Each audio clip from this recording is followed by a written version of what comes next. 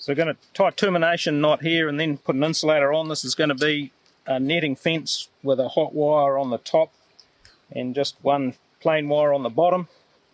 Then the termination knot, the tying a knot normally go under, over, under, over. If you wrap your arm round, it helps keep pressure on there. So it's gone under, over, under. Want a nice round part in the knot there so you can take it right under and bring it back as we're coming over, put your crank in, do a lazy loop, and then do your tight loops. Going around three times in all. The lazy loop is important because it does the holding. To break it, get the going around like the tail rotor on a helicopter, that piece, just start slowly and flick it and you get a nice smooth break and you end up with a good knot. Put the insulator on, needs to come out about 125 from the post. So we'll cut the wire, leaving plenty of spare. To gauge where the insulators go so they look nice and even down the post, if you're say doing a five wire electric, if you put your hand there, stick your thumb out and bend it round, and if you do that on each wire, they all come out the same distance. Slide the insulator on, bring the wire over, slide it along itself and get it so the wire's crossed right in the middle of the insulator. Then with your left hand, turn one way and pull down with your right hand. Then give it a bend it and bend it back. And now it's pulling off dead center. You want it's important it's pulling off the middle of the insulator. And do six tight wraps.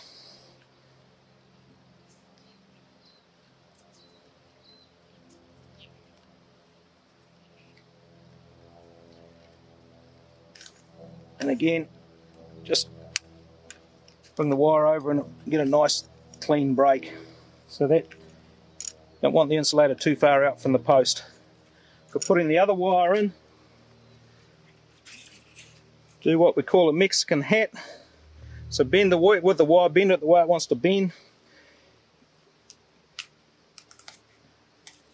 Measure from about the middle of the hole to the front of the insulator.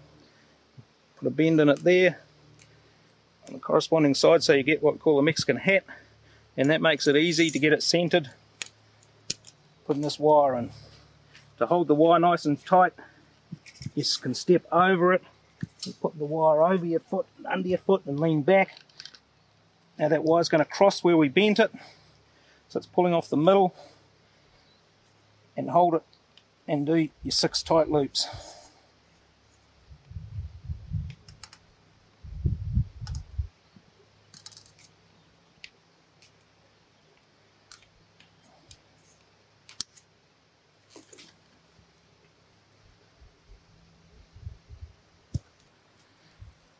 Putting the second wire on, we do what you call a Mexican hat.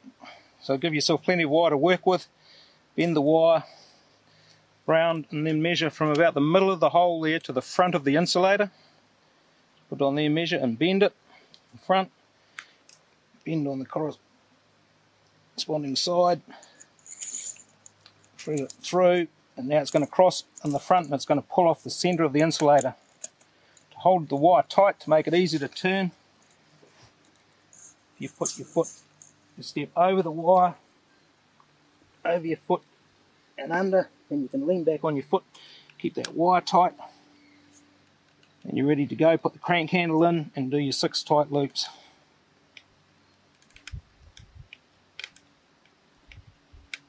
The crank's getting a bit short, just extend it.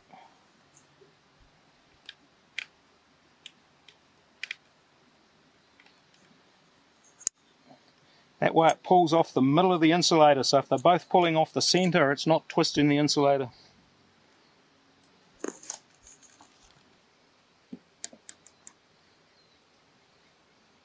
Mark the gauge on the post. We've normally, if it's plain wires, you'd come down 50, but because we're putting insulators on here and it's a hot wire on the top, we come down 75, and that leaves you room from the top of your post to fit your post insulators on. Just put skewer staple in there to hold it and check the wires level coming around the post.